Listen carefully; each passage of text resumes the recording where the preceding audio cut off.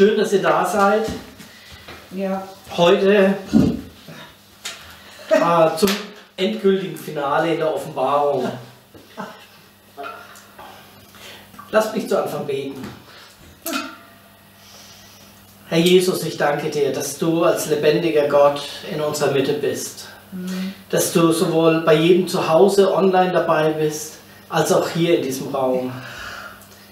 Herr, und ich bitte dich, dass du unsere ganze Wahrnehmung auf dich Ja. ausrichtest.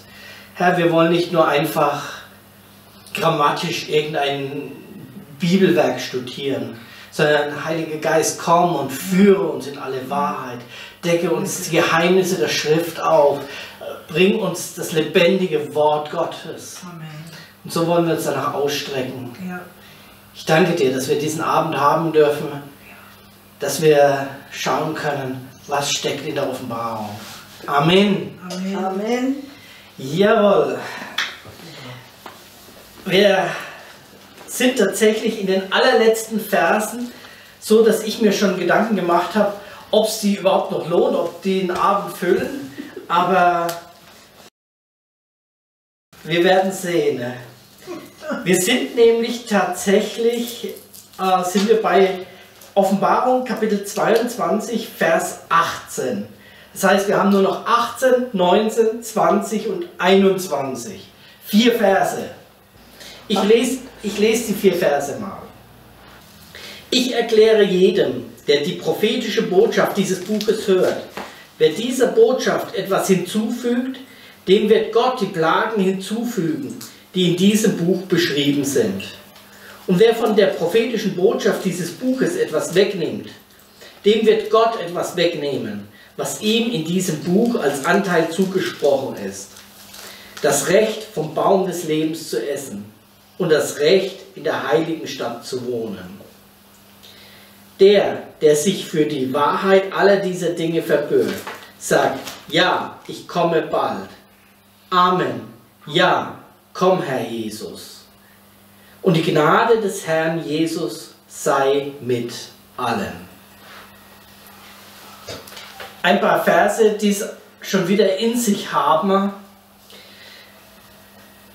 wo deutlich wird, der Schreiber dieses Buches, der geht von allerhöchster Autorität aus. Er sagt nicht, hey, nehmt das ernst, was ich hier euch sage, denn ich bin der Apostel Johannes.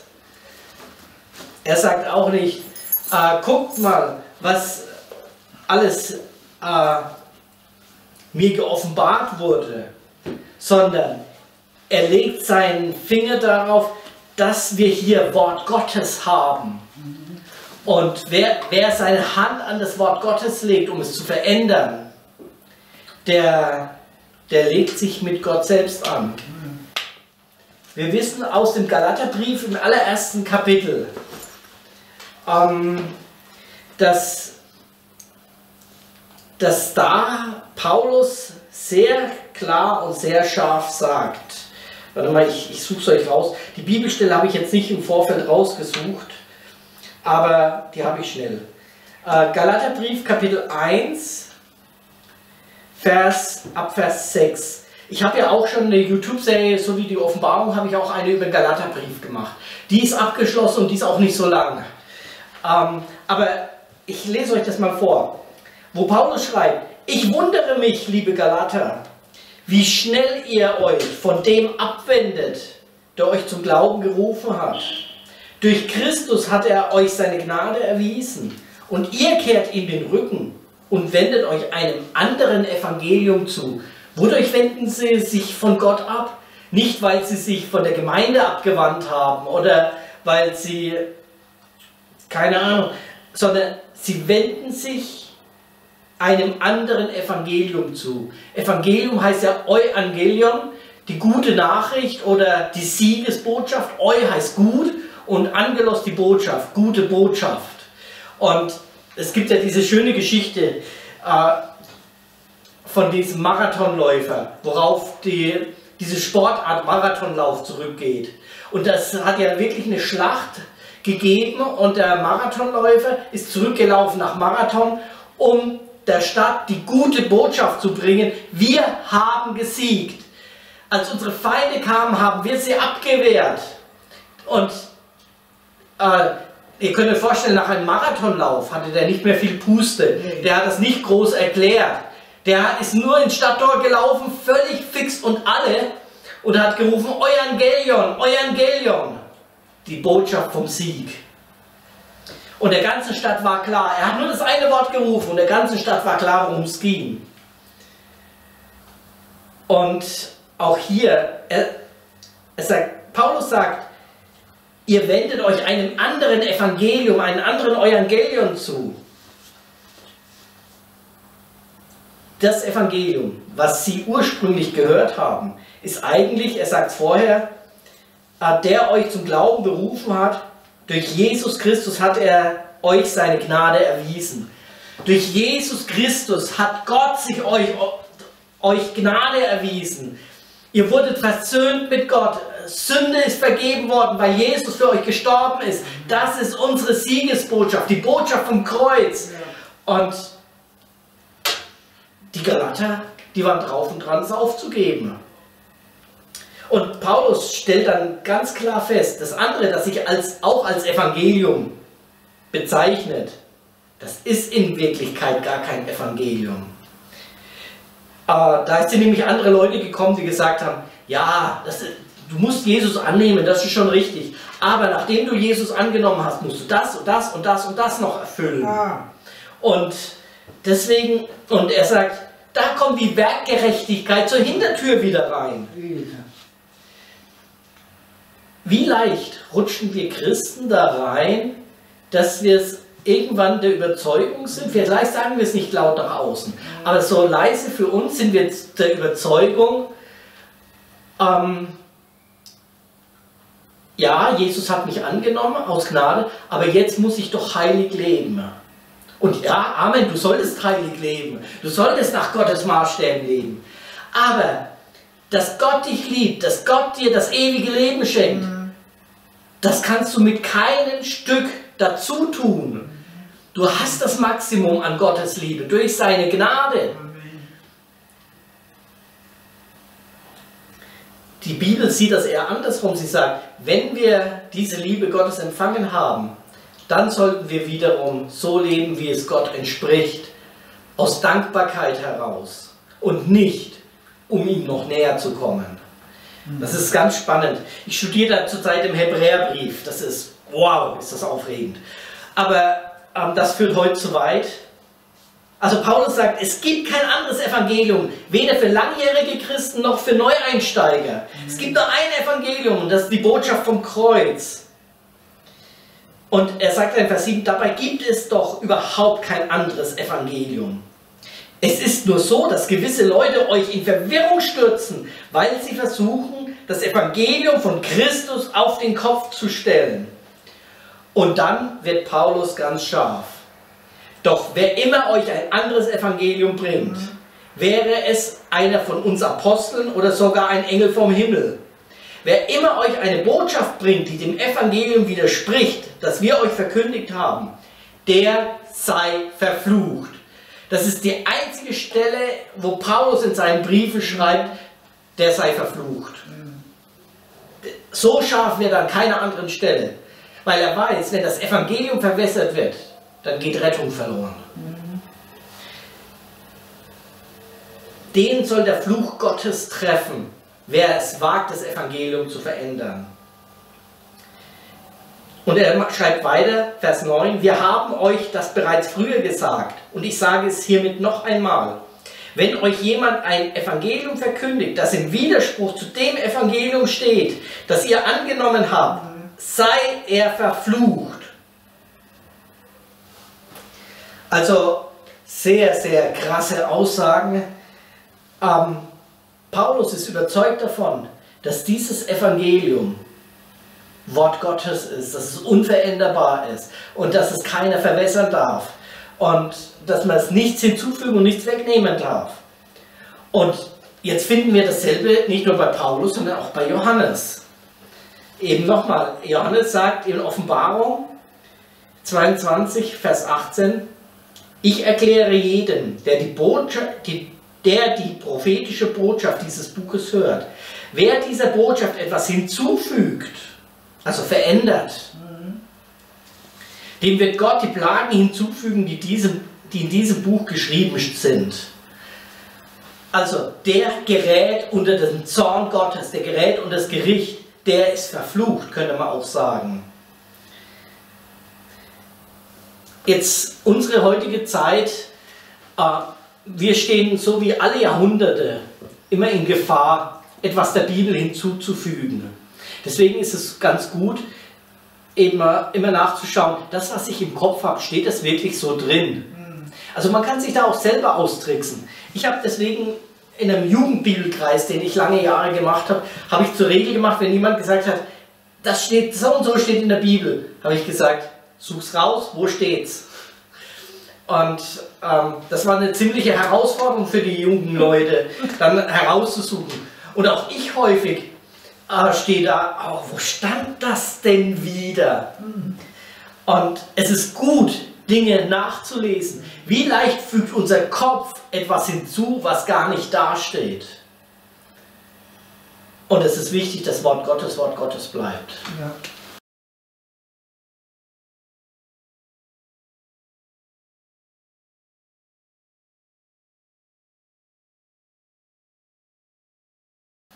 Ähm, solange sie nichts hinzufügen, ja. Nur weil die Sprache moderner ist, mhm. heißt das nicht, dass die falsch sind. Mhm. Aber es kann falsch werden, wenn sie Dinge hinzufügen. Ähm,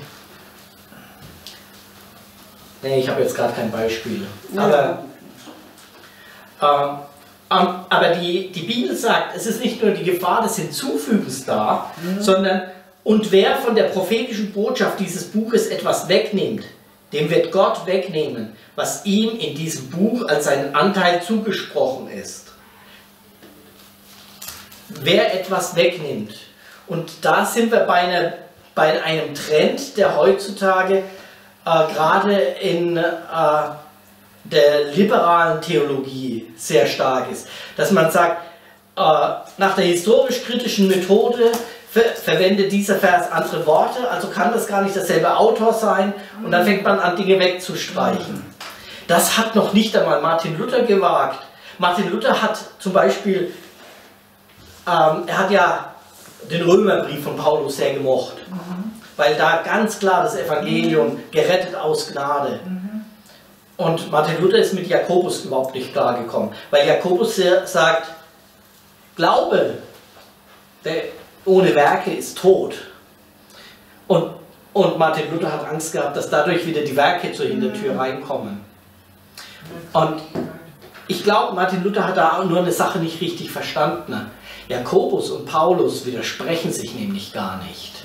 Auch bei Paulus ist ganz klar, dass wenn du glaubst, dann hat das Auswirkungen in dein Leben. Im Römerbrief Kapitel 6 sagt Paulus, äh, in der Taufe wurdest du von neuem geboren. Und jetzt, weil du neu geboren bist, lerne neu zu denken. Und weil du, wenn du neu gelernt hast zu denken, dich dafür zu halten, ich bin neue Kreatur, dann bist du auch befähigt, neu zu handeln. Also Handeln gehört bei ihm mit dazu. Nur es ist eine Reaktion, ein Ergebnis. Und dem würde Jakobus nie widersprechen. Jakobus legt das Augenmerk mehr auf, das, auf die Reaktion drauf. Er sagt, du kannst dein Glauben mal überprüfen, wie echt er ist, ob du bereit bist, wirklich Werke tätig, ob du bereit bist, aufgrund deines Glaubens tätig zu werden. Und so könnte man auch Johannesbrief dazu nehmen. Also die Bibel ist sich da einig und nicht so, wie Martin Luther geargwohnt hat, dass Jakobus dem Paulus da widerspricht. Weil er damit nicht klarkam, da ist ja die Verführung sehr nahe, dass man einfach Teile aus der Bibel entfernt, die einem nicht passen, nur weil man sie nicht versteht. Ähm, so wie es die liberale Theologie mit der historisch-kritischen Methode heutzutage macht. Und dann kommt man dahin, dass man die Bibel sich selber anpasst. Aber Martin Luther, der hat so einen Ehrfurcht vor der Bibel gehabt, mhm. vor dem Wort Gottes. Mhm. dass er es nicht gewagt hat, irgendwas aus der Bibel zu entfernen. Auch wenn er Jakobus nicht verstanden hat. Er hat die Bibel ein bisschen umsortiert. Jakobus war früher in der Bibel weiter vorne. Er hat ihn nur möglichst weit nach hinten geschoben, dass er möglichst unauffällig ist. Aber er hat es nicht gewagt, etwas aus der Bibel zu entfernen. Und wir lesen es ja hier. Wer etwas aus diesem Buch der Offenbarung wegnimmt, dem wird Gott Anteil wegnehmen an dem Baum des Lebens. Der verliert seine ewige Errettung. Und das ist, das ist eine richtig krasse Aussage. Wenn du es wagst, ein anderes Evangelium zu bringen, indem du die Bibel veränderst, oder hier die Offenbarung, weil du einfach Sachen nicht verstehst oder warum auch immer. Der Grund ist eigentlich egal. Wenn du die Bibel veränderst, dann, dann wird Gott dich nicht essen lassen vom Baum des Lebens. Dann hast du nicht das Recht mehr in der heiligen Stadt zu wohnen, in dem himmlischen neuen Jerusalem, wo alle Gläubigen Zutritt haben. Das ist die Bibel zu verändern, das ist auf einem Level mit Zauberei, Okkultismus, Unzucht. Äh, also, es ist nicht umsonst sagen wir, es ist ein heiliges Buch. Es ist eben nicht nur einfach ein Literaturwerk wie alles andere in der Welt auch. Es ist Wort des lebendigen Gottes. Mhm. Jetzt ist es nicht so, dass dieses Buch einfach vom Himmel gefallen ist, äh, sondern es haben ja Menschen aus Fleisch und Blut geschrieben. Hier in unserem konkreten Beispiel haben wir am Anfang in der Offenbarung gelesen, dass Johannes den Auftrag bekommt, Johannes schreibe auf. Das heißt, den, den Teil der Bibel, die Offenbarung, hat Johannes aufgeschrieben. Und ähm, es ist also Menschenwort. Es ist das, was er beobachtet hat und mit eigenen Worten beschreibt. Deswegen sind auch manche Beschreibungen ganz suspekt, weil seine Worte einfach an Grenzen kommen, wo er nicht mehr beschreiben kann, wie es im Thronsaal Gottes aussieht, weil wir in unserer irdischen Sprache einfach dafür keine Begrifflichkeiten mehr haben. Also es ist erstmal Menschenwort. Aber Gott durchdringt dieses Menschenwort mit seinem Heiligen Geist. Und da wird Menschenwort zu Gottes Wort. Und wie sehr Gott auf sein Wort aufpasst, das sehen wir ja daran, dass die Bibel sich über die letzten Jahr, zwei Jahrtausende, können wir es beweisen, hat sie sich nicht verändert. Und wenn sie sich über die letzten zwei Jahrtausende nicht verändert haben, es gibt ja Schriften, die sind älter, die Bücher Mose und so, dann hat Gott auch davor aufgepasst, dass es sich nicht verändert hat. Aber für die letzten 2000 Jahre haben wir archäologische Beweise, dass die Bibel sich nicht mehr verändert hat. Wir haben ja unter anderem die Funde von Qumran. Das ist ja so um die Zeit Jesu herum. Und, äh, und damals hat man gesagt, äh, das älteste Schriftstück, was man damals hatte, damals haben wir noch nicht so viel gefunden, wie wir heutzutage haben.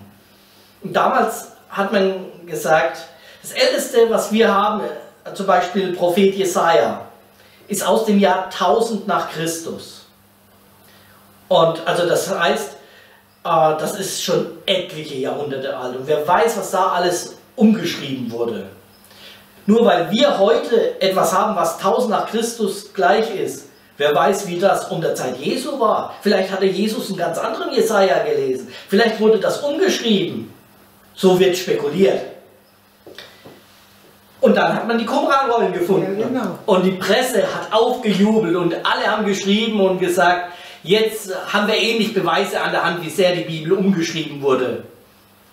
So diese böse katholische Kirche, die ihre, die Bibel nach ihren Maßstäben umschreibt. Von wegen, Gott passt auf sein Wort auf. Der Heilige Geist passt auf sein Wort auf. Und die Qumran-Schriften tausend Jahre älter als die älteste Jesaja-Rolle. Und in Qumran hat man eine vollständige Jesaja-Rolle gefunden. Und was soll ich sagen? Bis auf ein paar Buchstabendreher, Kommasetzungen, ja. sage ich mal, war alles, war alles identisch. Ja. Es gibt keine Sinnveränderung, keine Satzveränderung im Propheten Jesaja innerhalb von tausend Jahren. Jetzt schreib mal tausend Jahre lang immer wieder was ab. Ja. Menschlich gesehen unmöglich, dass sowas gleich bleibt. Aber Gott passt auf sein Wort auf. Und das ist genau das, wovon wir hier lesen. Er sagt, wenn jemand es wagt, die Bibel, also hier an der Stelle die Offenbarung im Besonderen, zu verändern, das prophetische Wort, etwas hinwegnehmen oder etwas hinzufügen, dem wird der Fluch Gottes treffen. Der wird gestrichen aus dem Buch des Lebens. Wenn jemand es wagt, das Evangelium zu verfälschen, die Botschaft, die Siegesbotschaft von der Rettung, dann fliegt er raus aus dem Himmel. Also Gott, an dem Punkt, ich glaube, äh, wenn wir Gott persönlich kennenlernen, Gott hat, glaube ich, einen humorvollen Charakter. Sonst hätte er nicht solche Sachen erschaffen wie äh,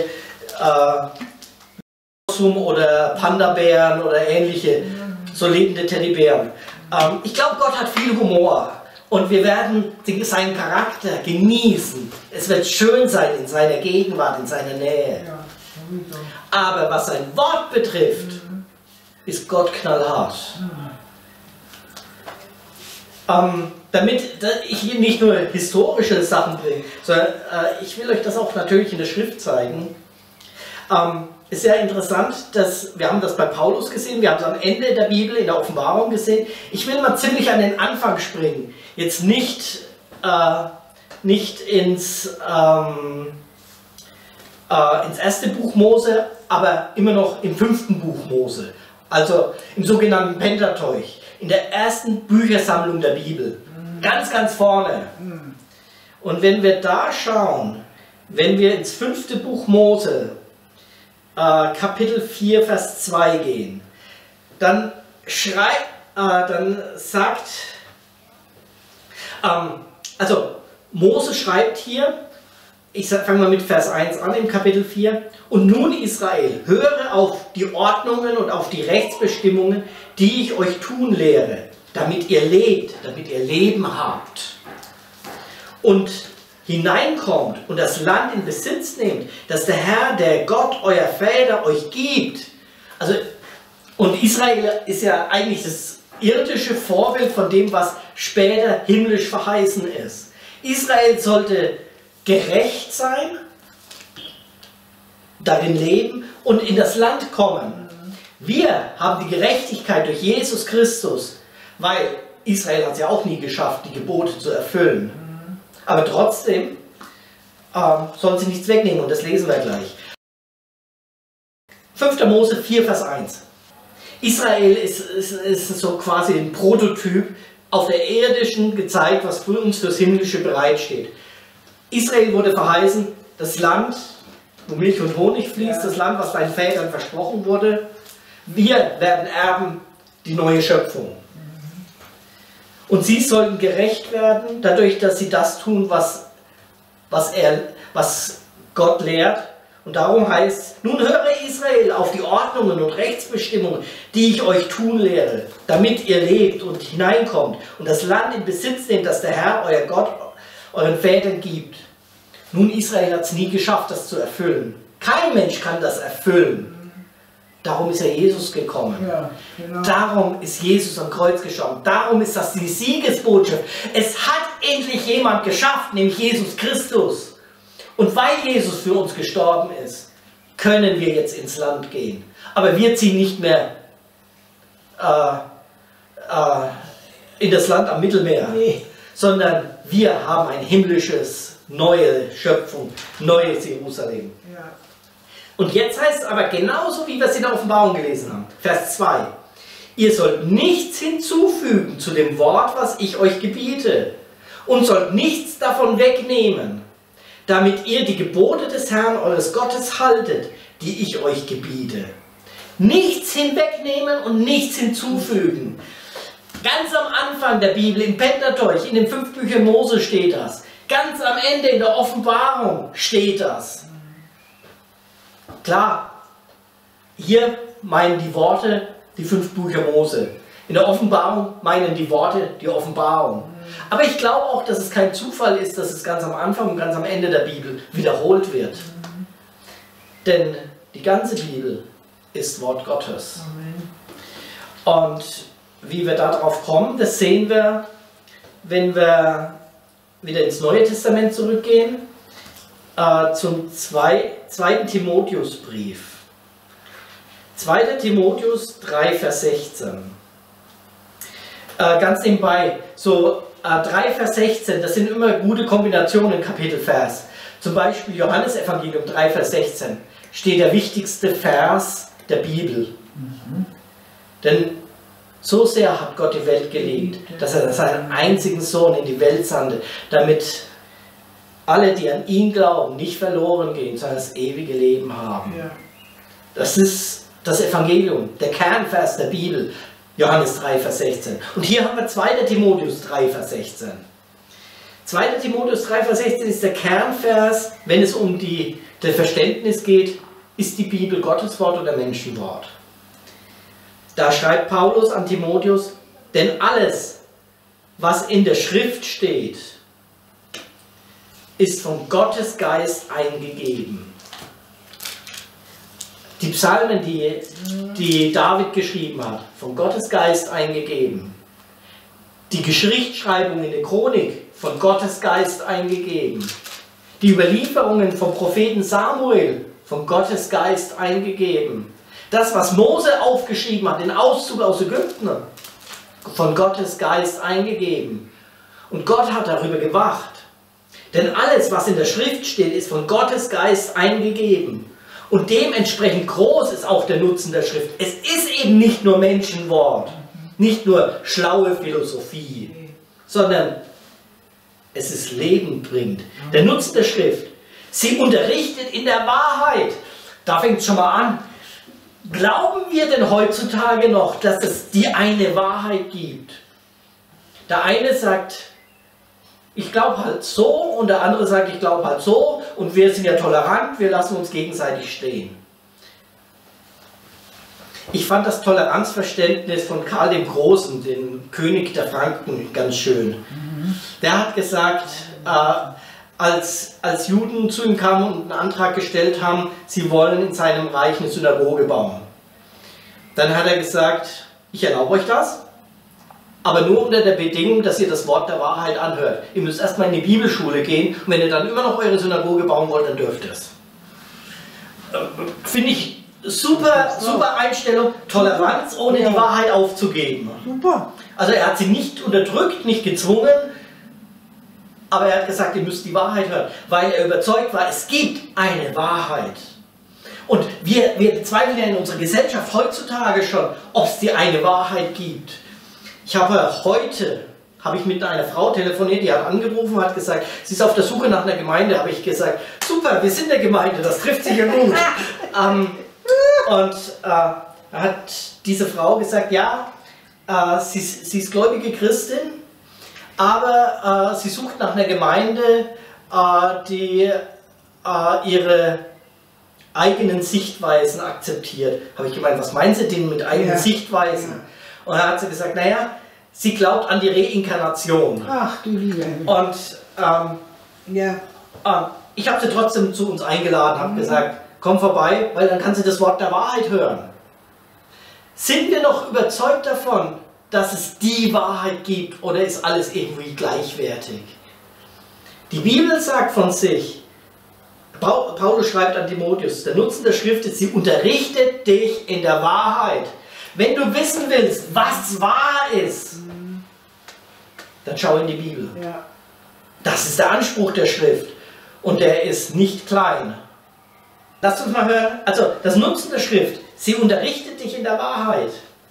Sie deckt Schuld auf. Ja. Also, wenn du die Bibel liest, die zehn Gebote, die Bergpredigt und so weiter, mit einmal merkst du, ich bin schuldig vor Gott. Ich habe nicht alles richtig gemacht. Ich habe Mist gebaut. Da kommt wieder das Evangelium. Halleluja. Jesus ist für unsere Schuld gestorben. Also die Bibel deckt Schuld auf. Sie bringt auf den richtigen Weg. Natürlich, sie erzählt von Jesus. Sie bringt auf den richtigen Weg. Und sie erzieht dich zu einem Leben nach Gottes Willen. Das ist dann die Konsequenz daraus. Wenn ich sage, ich glaube an Jesus, ich nehme die Vergebung der Schuld an, ja. dann will ich aus Liebe heraus auch so leben, wie er das möchte.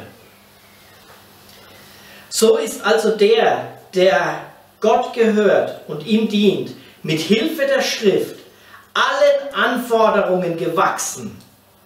Hört mal zu, er ist allen Anforderungen gewachsen. Du wirst keine Situation in deinem, wenn du in der Schrift zu Hause bist, mhm. wirst du keine Situation in deinem Leben haben, an der du zerbrichst. Vielleicht kommst du nahe dran. Vielleicht jappst du manchmal und das Leben kommt richtig zerstörerisch auf dich zu. Aber mit Hilfe der Schrift mhm. bist du allem gewachsen, was auf dich zukommt. Und das ist eine krasse Ver äh, Versprechen. So ist der, der Gott gehört und ihm dient, mit Hilfe der Schrift allen Anforderungen gewachsen. Er ist durch sie dafür ausgerüstet, alles zu tun, was gut und richtig ist. Wow. Also, warum sagt Mose, warum sagt Johannes in der Offenbarung, ähm, nichts wegnehmen, nichts hinzutun. Warum sagt Paulus, verflucht ist, wer ein anderes Evangelium bringt? Ganz klar, wenn das Evangelium, wenn die Bibel verfälscht wird, dann kann sie nicht mehr diesen Nutzen haben. Der Geist Gottes selbst hat diese Schrift eingegeben. Ja. Weißt du, Paulus hat die Briefe geschrieben. Das waren Menschen wie du und ich. Der, er hat auch so seine Macken gehabt. Paulus hat, hat gerne so geschwollen dahergeredet. Sein Römerbrief ist ein, ist ein Graus für alle, die Griechisch lernen, alle äh, Studenten auf Bibelschulen und so, die Griechisch lernen müssen. Die raufen sich die Haare, wenn sie Paulus Römerbrief übersetzen müssen. Äh, weil der hat, der hat Schachtelsätze gebaut. Äh, ich glaube, ähm, das Ende vom Römerbrief ist ein halbes Kapitel Einsatz. Also das sind Schachtelsätze, da, da, da fliegt dir der Draht aus der Mütze. Also das ist unbeschreiblich. Ja, Paulus hat es geschrieben in seiner Art und Weise. Petrus hat es geschrieben in seiner Art und Weise. Der Petrusbrief, wenn du das in Griechisch im Original liest, du merkst eindeutig, dass Petrus kein studierter Theologe war wie Paulus. Der war Fischer. Der hat mit Mühe und Not das Griechische noch gelernt, weil es eben die damalige äh, Sprache war, mit der du über religiöse Texte und so gesprochen hast. Mhm. Aber du merkst das Fischergriechisch in seinen Briefen, im Petrusbrief, im ersten Petrusbrief, im zweiten Petrusbrief. Das merkst du einfach. Mhm. Und, Paul, und der Geist Gottes hat die Schriften von Paulus genommen, die Schriften von Petrus genommen und alles durchdrungen. Und hat dafür gesorgt, dass da nichts reinkommt, was einfach eine fixe Idee von Paulus ist oder eine fixe Idee von Petrus, sondern in der Schrift haben wir die Wahrheit. Dafür hat der Geist Gottes gesorgt. Nicht, weil Paulus perfekt gewesen wäre. Der war nicht perfekt. Der war froh, dass er den Lauf bis zum Ende treu durchgehalten hat. Der wusste um seine, äh, um seine Fehler. Aber und er sagt von sich selber, ich bin der Geringste unter allen weil er seine Schwächen und Fehler kennt. Und trotzdem hat Gott seine Worte durchdrungen. Wisst ihr, äh, das nennt man äh, die Bibel äh, ist Gott, Gott handelt in der Bibel inkarnatorisch. Inkarnation ist so ein Fachbegriff von den Theologen, die lieben Fachbegriffe.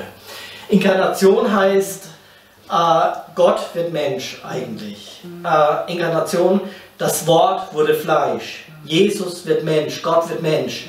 Das heißt Inkarnation. Wenn jetzt die Theologen sagen, die Bibel ist inkarnatorisch, das heißt, das Geistliche, der Geist Gottes kommt und durchdringt das Fleischliche. Die normalen Briefe des Paulus durchdringt er. Und mit einem Mal ist es kein normaler Brief mehr, wie wenn ich einen Brief schreiben würde.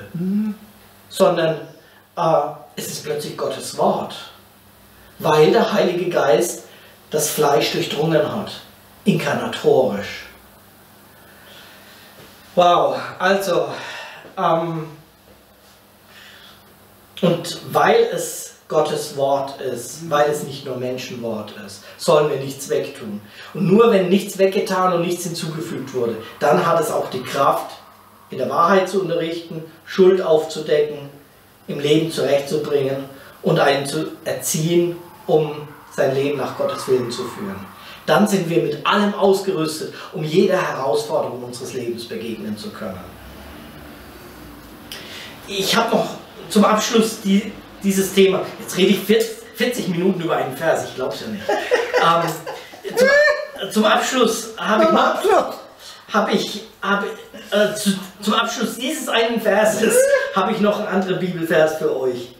Und zwar äh, 2. Petrus, äh, Kapitel 1, Vers 21. Dann schauen wir mal, was Petrus dazu sagt.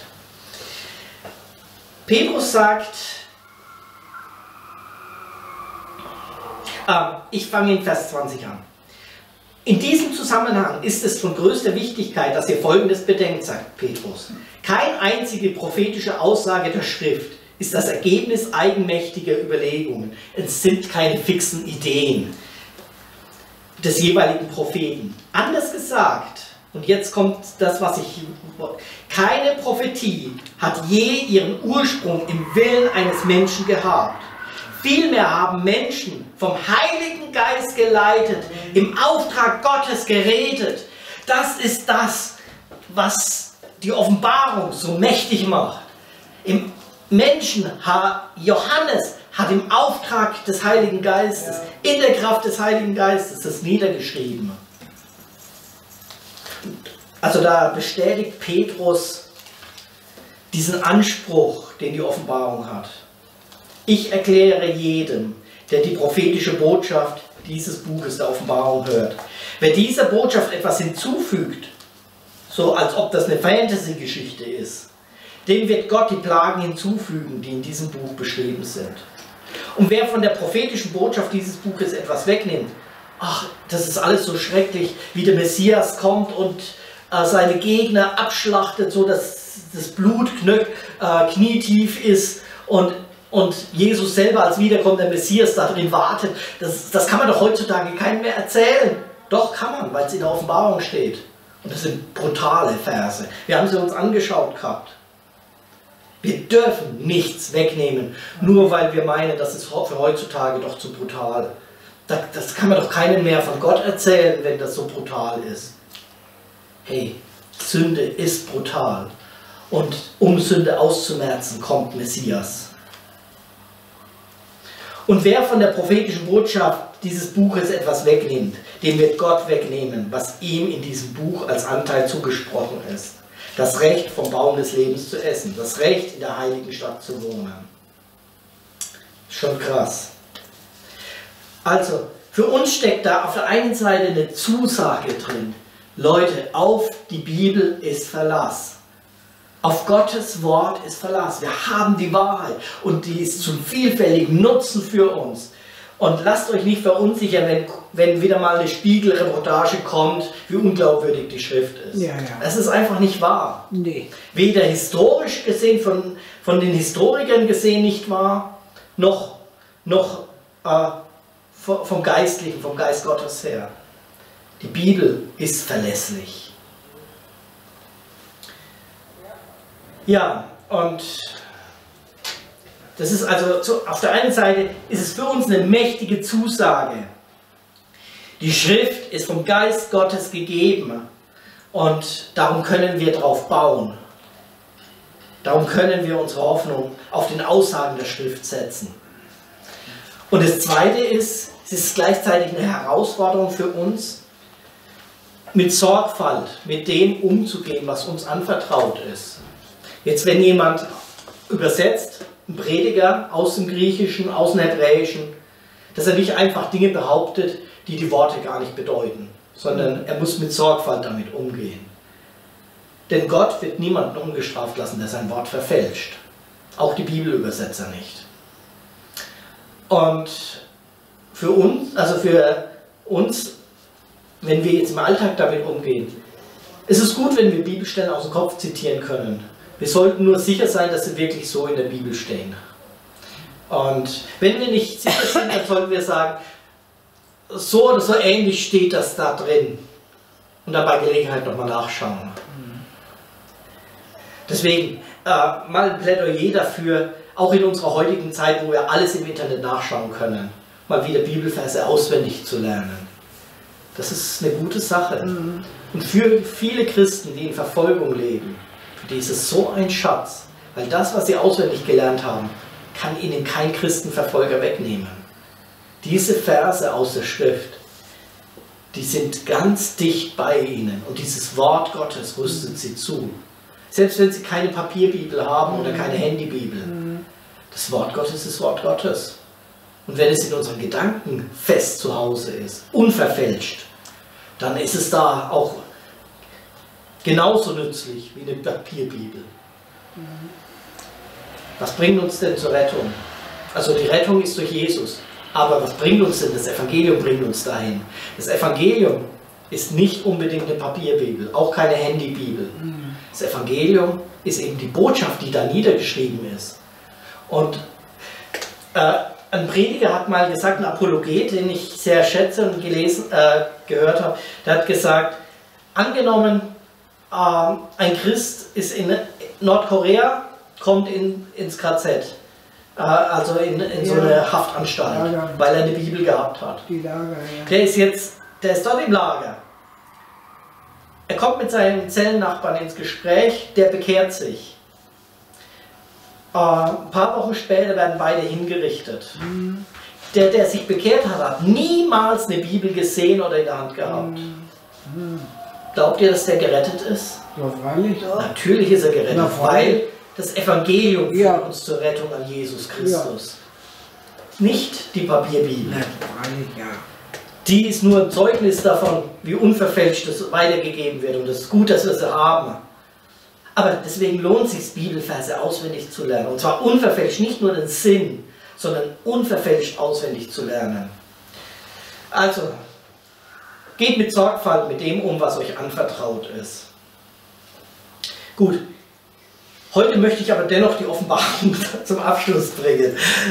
Äh, lasst uns, jetzt haben wir 18 und 19 uns angeschaut, lasst uns mal Vers 20 schauen der, der sich für die Wahrheit aller Dinge verbirgt. Hier haben wir es nochmal.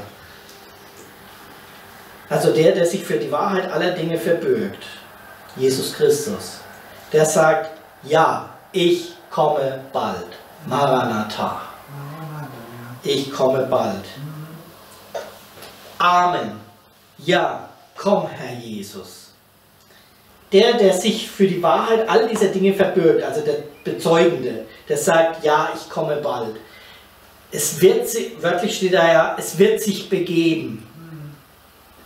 Meine Wiederkunft wird sich bald begeben. Ich komme bald. Und dass das nicht nach menschlichen Zeitmustern läuft, das hatten wir schon mal besprochen. Bei Gott ist ein Tag wie tausend Jahre und tausend Jahre wie ein Tag, sagt die Bibel. Also, ähm, wenn er sagt, er kommt bald, dann kommt er zu genau dem Zeitpunkt, den Gott vorherbestimmt hat. Und die Jünger haben mal gefragt, wann wird es soweit sein? Und Jesus, der auferstandene Jesus, hat gesagt, es gebührt euch nicht Zeit und Stunde zu wissen. Also selbst wenn wir noch so viel da drin erkennen, und wir können Dinge erkennen, Jesus sagt, an den Zeichen der Zeit seht ihr, dass das Ende nahe ist. Genauso wie beim Baum, dass der Herbst nahe ist. Und ähm, deswegen, wir können an den Zeichen der Zeit erkennen, wie nah das Ganze ist. Aber wir können genaue Zeit und Stunde nicht wissen.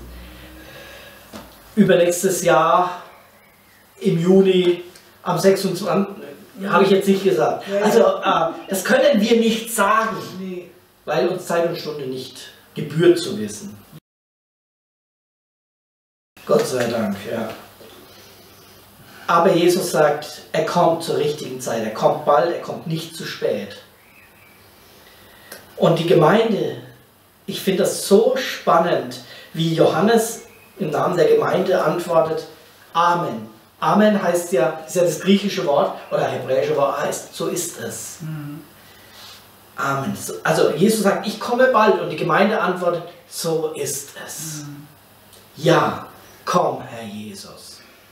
Und das lasst uns so wirklich zu unserem Gebet machen. Wenn Jesus sagt, ich komme bald, so ist es. Komm bald, Herr Jesus.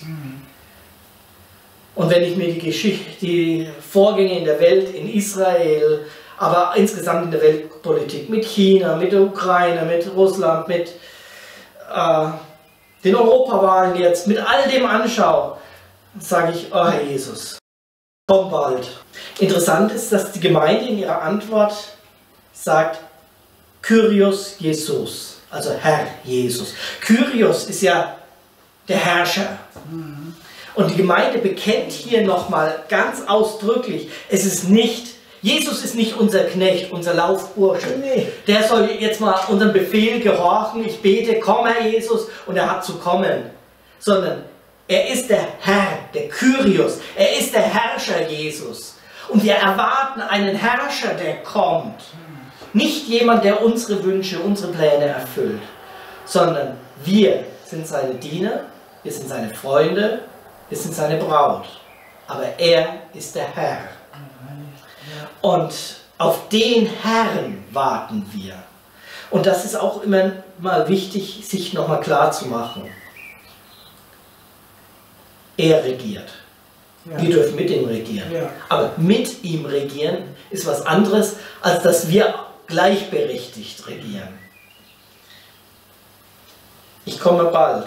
Amen. Ja, komm, Kyrios Jesus, Herr Jesus. Ja.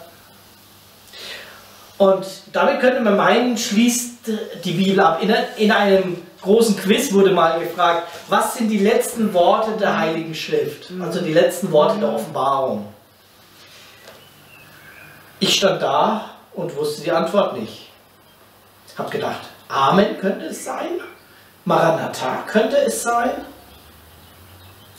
Die letzten Worte der Heiligen Schrift sind, die Gnade des Herrn Jesus sei mit allen.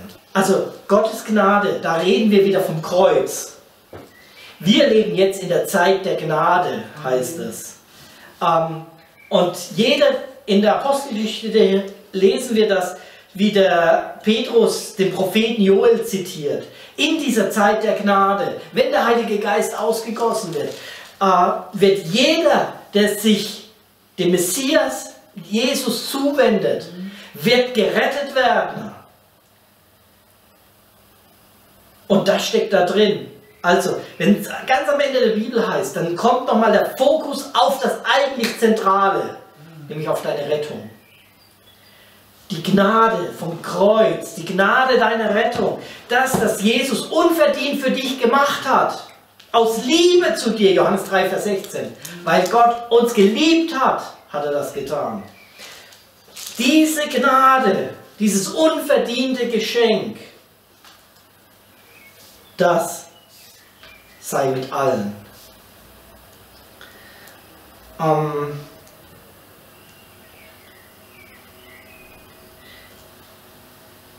da haben wir wieder den Herrn Jesus, den Kyrios Jesus. Kyriou Jesu sei mit allen.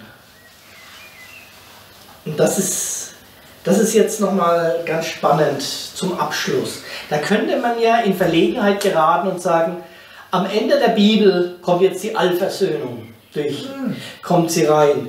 Denn die Gnade sei ja mit allen. Das heißt, das Kreuz gilt allen. Das steht da nicht.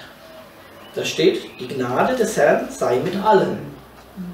Oh, aber ich gebe dir recht, wenn wir es annehmen. Warum können wir diese Ergänzung vornehmen, obwohl sie hier nicht drin steht? Es gibt nämlich einen Unterschied zwischen Bibeltreu und Biblizismus. Biblizismus ist so, ich nehme einen Vers und lasse den einfach für sich selber stehen. Dann kann ich, wenn ich nur diesen Vers nehme, Ja. die Gnade des Herrn Jesus sei mit allen. Sind doch alle gerettet? Kann ich ganz einfach machen. Ja.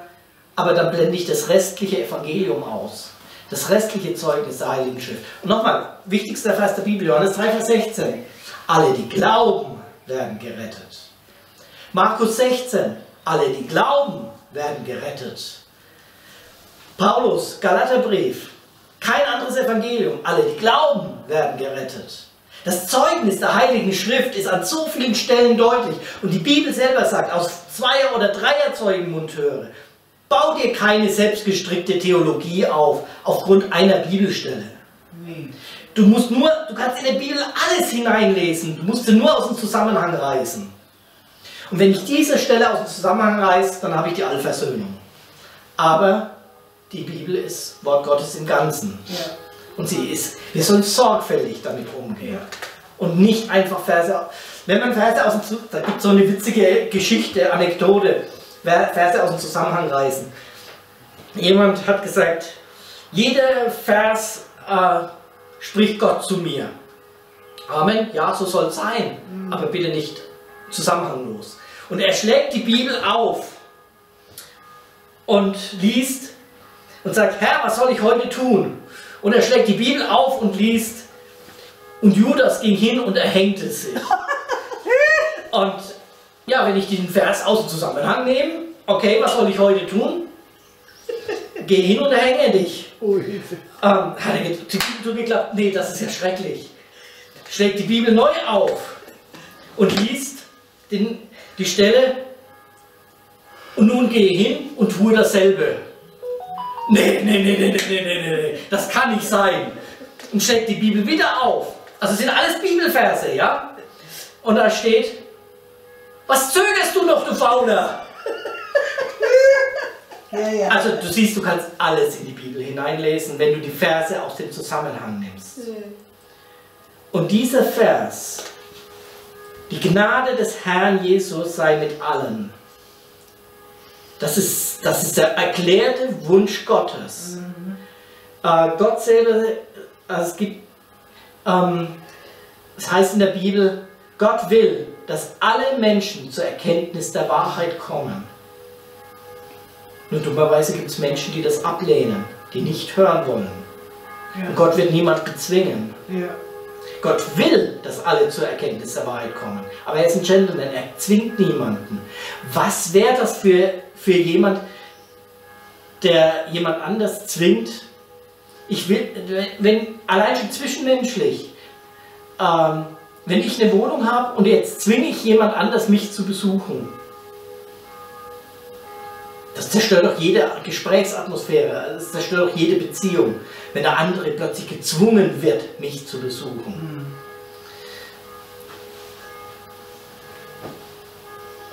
Gott zwingt niemanden. Auch wenn sein Wunsch ist, dass alle zur Erkenntnis der Wahrheit kommen. Weil er weiß, dass seine Tat am Kreuz mächtig genug ist, 100% der Menschheit zu retten. Seine Tat ist stark genug. Die Frage ist, wollen wir das? Will ich für mein Leben das Kreuz Jesu annehmen? Dann gehöre ich hiermit dazu. Dann wird die Gnade Gottes mit mir sein. Von meinem Herrn Jesus. Und niemand, auch das sagt die Bibel, kann Jesus den Herrn von ganzem Herzen her nennen, wenn, er nicht, wenn das nicht vom Heiligen Geist inspiriert ist. Dann hat man immer Wenn und Aber und Dennoch und was weiß ich.